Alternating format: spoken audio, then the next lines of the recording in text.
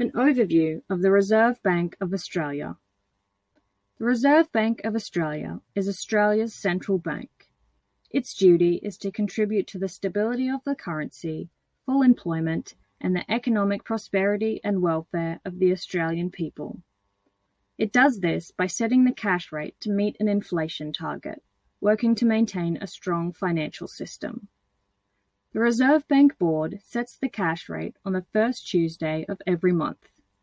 The cash rate is the rate the banks use to lend to one another in a short-term money market, but it has a very large effect on mortgage rates in the economy, on the rates that people get on their savings, and affects asset prices and the exchange rate.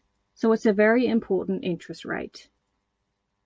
Sometimes the Reserve Bank needs to raise interest rates to achieve those objectives. If the economy is growing very strongly, demand goes up and that pushes up prices. The Reserve Bank might need to raise interest rates to slow the economy to get things back onto an even kneel. Conversely, if things are weak and demand is not very strong and inflation's low, they might need to lower interest rates to stimulate demand and get inflation back up towards the target.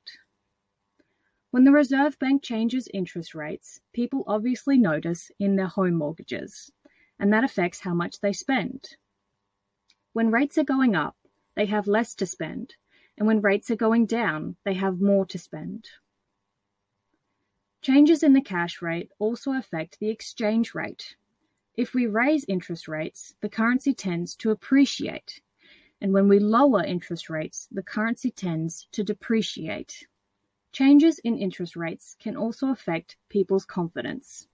In some circumstances, lower interest rates make people feel happier, and in other cases, higher interest rates make people feel less happy, and so that affects their spending.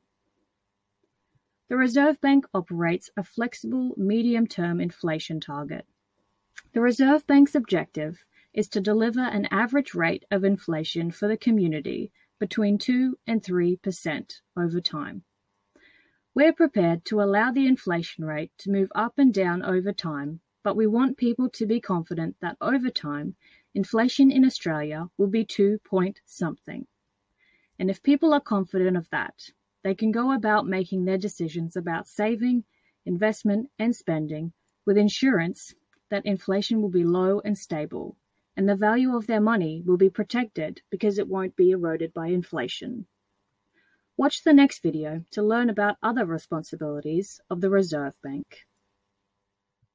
Created using Powtoon.